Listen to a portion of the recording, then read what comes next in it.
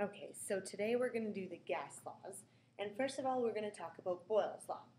Boyle's law is P1V1 equals P2V2. Okay, so that's the basic formula that we're going to be dealing with today. The idea of Boyle's law is that as the pressure increases, the volume decreases. That's an inversely proportional reaction. So as one thing goes up, the other thing goes down. Kind of like a teeter-totter. It's going to balance it out. So if the pressure goes up, the volume's going to go down. If the volume goes up, the pressure is going to go down. A good example of this is in a syringe. Okay, so when you have a syringe,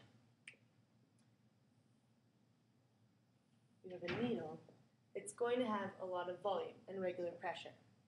If I push on that syringe, what's going to happen is the volume is going to decrease of the gas inside the syringe. That's because the pressure is being pushed down Okay, so that's basically what Boyle's law is. Now, how to use this formula is the pressure, which can be discussed in several different units. So pressure can be found in millimeters of mercury. It can also be found in kilopascals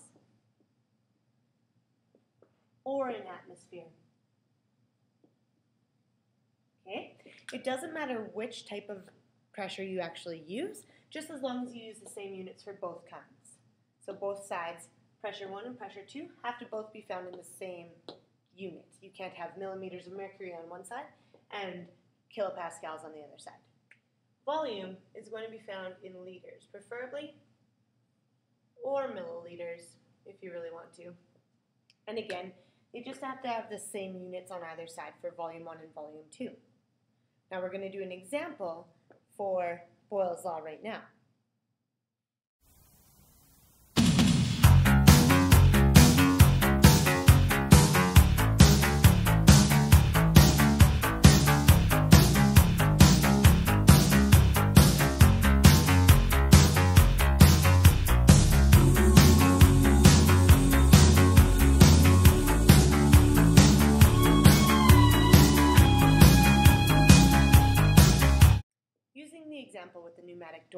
We know that we're looking for the initial pressure. That's because we're given that when the door slams shut, the pressure turns up to 136.94 kilopascals with a volume of 0.017 liters.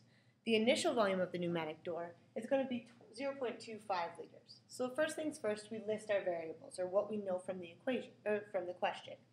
Now we're going to plug that into our actual equation. So we're going to leave P1 as is, we're going to plug in, we have 0.25 liters. Remembering always to include your units in your actual equation. And that's going to be equal to 136.94 kilopascals multiplied by the 0.017 liters. How we're going to rearrange this formula is we're going to divide by the 0.25 liters to get P1 all by itself. And what you do to one side of the equation, you have to do to the other side.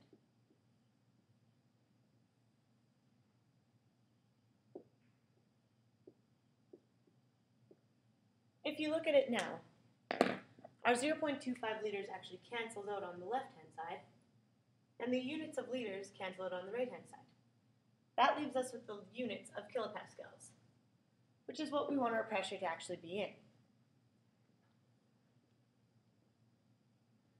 When we plug into this equation, we get a resultant 3.9.31192 kilopascals.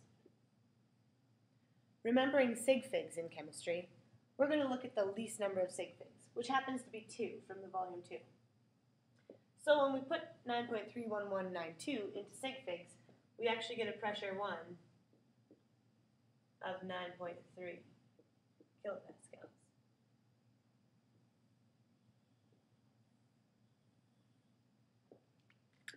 Let's think about it if that makes sense. So, as the pressure increases, the volume decreases. So our initial pressure is 9.3. And as it goes up, the volume goes from 0.25 to 0.017. Makes sense.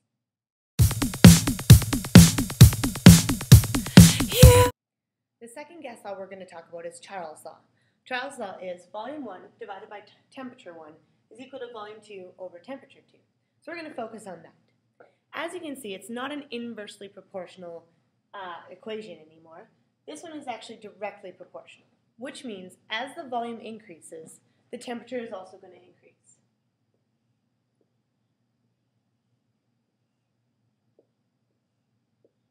Or if the temperature decreases, the volume is also going to decrease. This makes sense because of the kinetic molecular theory.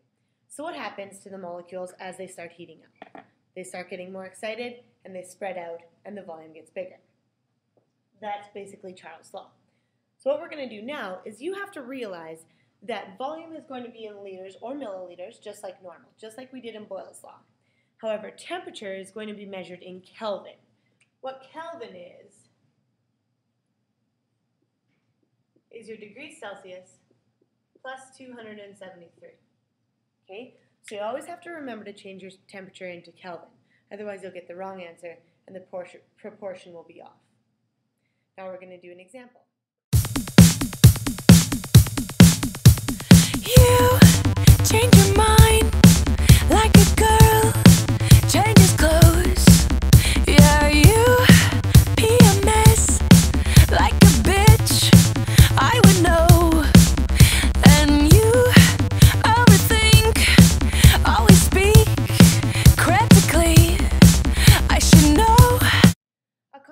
Example of Charles' law is the hot air balloon. That's because as the temperature increases, the volume of the gas inside their hot air balloon is actually going to get bigger and your hot air balloon is going to rise. So we have the example where our volume 1 of our hot air balloon at ST, SATP is 1,295.375 liters. We also have that we're at SATP, which we have to remember is 25 degrees Celsius, which calculates out to 298 Kelvin. Okay, our volume 2, as it heats, as the gas heats up, is 3,067.83 liters. And we're looking for what temperature that would actually require for the balloon to get that big. So what we do is we actually plug in the numbers into our V1 over T1 equals V2 over T2 after we've listed our variables, just like we do in physics. Okay, so we plug them in and we realize that we're solving for T2, which is on the bottom. What I like to do is I like to solve for the one side that has no variables as a whole number.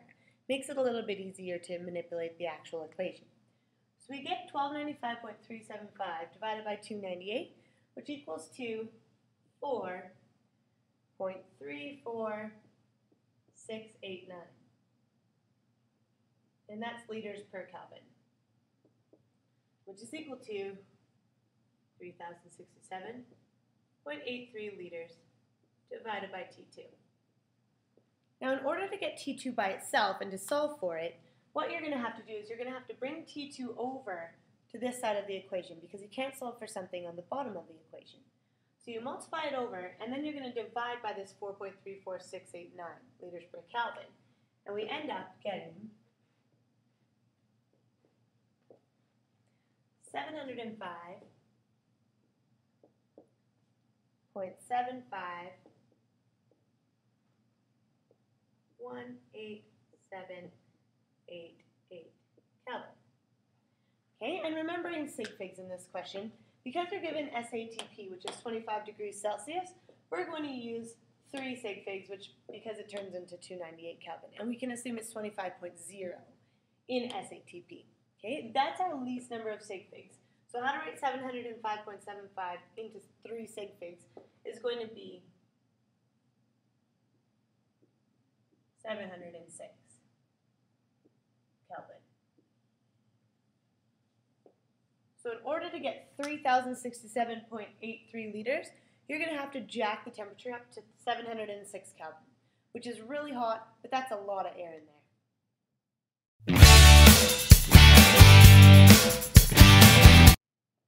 The third law we have is the combined gas law.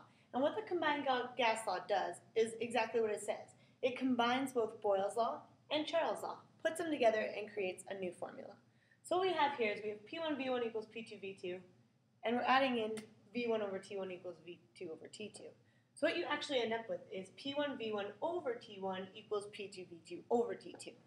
The trends in this equation then is, just like in Boyle's law, as the pressure increases, the volume is going to decrease, And if the volume goes down, what happens to the temperature? It's also going to go down. Okay? That being said, if the temperature goes up, what's going to happen is the volume of the gas is also going to go up, which causes the pressure to go down. Okay? So this is combined gas law. It's really combining Boyle's and Charles' law. We're going to put it together in an example.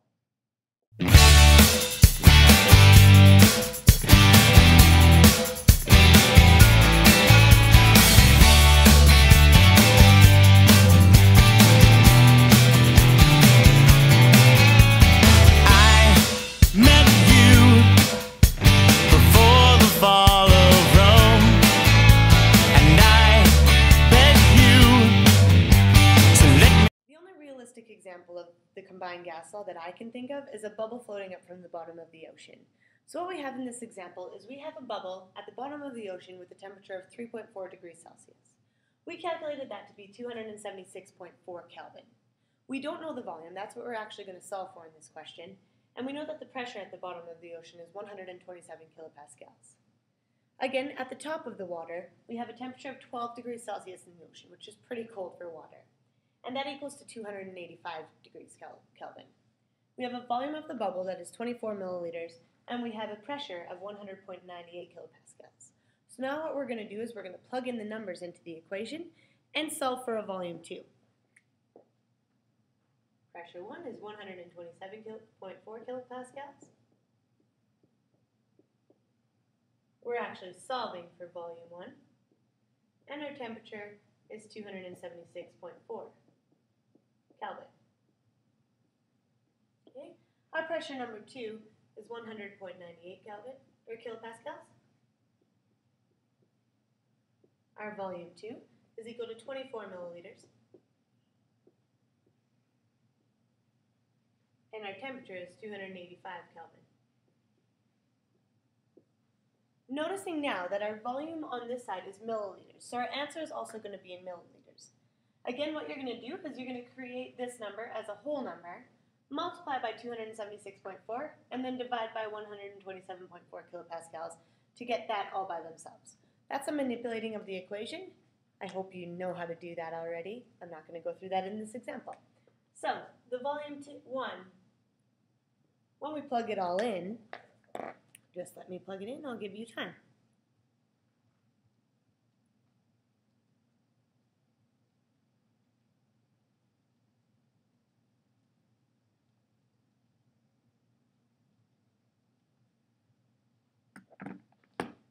We get a volume 1 of 18.45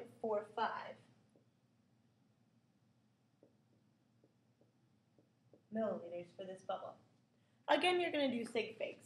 And noticing that this 3.4 degrees Celsius is actually only 2 sig figs, you're going to have to put 18.45 into 2 sig figs. How you can do that is you're actually just going to say 18 milliliters.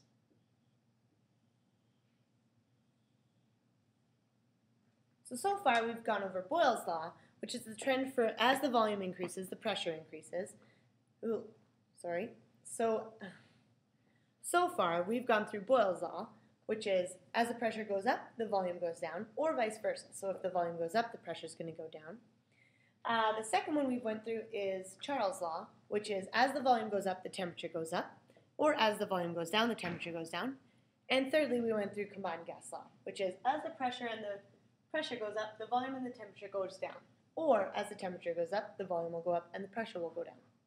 These are three examples. Now we're going to go on to something more intense with moles, which is basically all of chemistry.